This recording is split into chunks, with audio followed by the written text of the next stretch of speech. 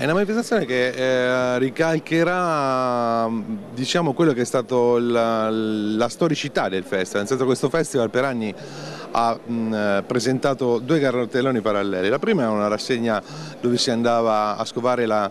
eh, diciamo, le nuove proposte, le, le cosiddette tendenze no? della giovanile. Dall'altra parte c'era la, la, la, vera, i, i, grandi che hanno fatto la storia della, della musica eh, pop rock eh, nel mondo. È una manifestazione che è alla 21esima edizione, che ha fatto la storia della musica in Umbria perché basta guardare i cartelloni precedenti, sono venuti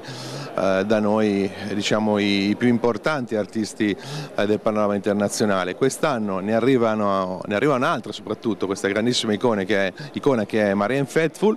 che si integra perfettamente eh, all'interno del, del, dell'elenco dei grandi artisti come Nick Cave, come Willie DeVille, come Robert Wyatt, come Elvis Costelli, come David Byrne, eccetera, eccetera.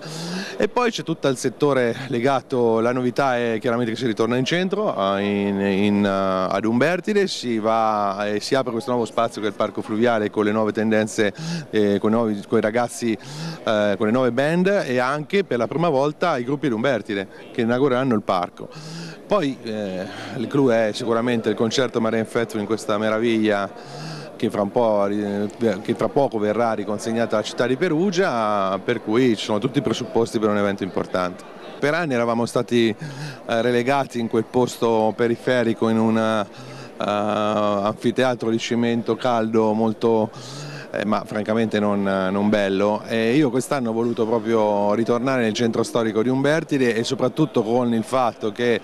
la storica piazza che ha visto, che io la chiamo la, la piazza del sangue perché dopo i concerti dei Reskin, Jazz Mary Chain, è una piazza che veramente ha, ha visto durante degli anni passati eh, suonare tantissimi star in quel momento là. Riviene eh, aperta, riviene ristrutturato c'è questo progetto meraviglioso che l'Umbra Ensemble ha accolto di eh, rileggere, rileggere, rileggere in maniera classica tutti eh, gli artisti che sono venuti più importanti sul Rock in Umbria. E, ehm, e, questa per me è una cosa molto importante. Beh, questa, eh, questa, edizione tra l'altro si rafforza la collaborazione con il Comune di Perugia, un po' quando, quando era partita Rock in Umbria era Umberti de Perugia, oggi siamo di nuovo tornati su questa tratta insieme alla Regione dell'Umbria, un'occasione per valorizzare, qui ci troviamo a San Francesco al Prato, ma per valorizzare il nostro patrimonio storico e culturale. Qui si svolgerà il concerto di Perugia ad Umbertide sulla piazza della Rocca, eh, in piazza San Francesco e al Lido Tevere. Insomma, è l'occasione per mettere buona musica, il, che è l'ingrediente fondamentale di Rock in Umbria, insieme al patrimonio storico e culturale delle nostre città. Un grazie particolare alla Regione che ha creduto in questo progetto e credo che una collaborazione politico-istituzionale che fattiva tra Comune di Umbertide e Comune di Perugia che vedrà realizzare in futuro anche ulteriori progetti. Sì, è un sodalizio che rafforziamo dentro ad una strategia complessiva che è l'investire nella cultura, nelle nostre risorse migliori che abbiamo dal punto di vista architettonico e ambientale. Rock in Umbria eh, questa edizione è in grande stile per la qualità del programma artistico, per i luoghi che sono stati scelti,